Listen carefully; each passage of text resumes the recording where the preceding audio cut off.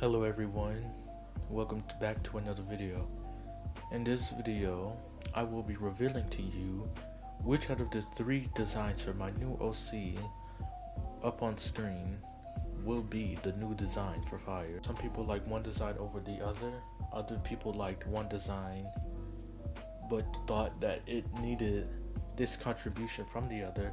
Some people liked all of them just fine, others like some of them the way they are and some not so much. It was a bit one-sided when I first started seeing the results, but the farther it went on, it got a little bit closer and the results might surprise you. But I hope you all enjoyed the video.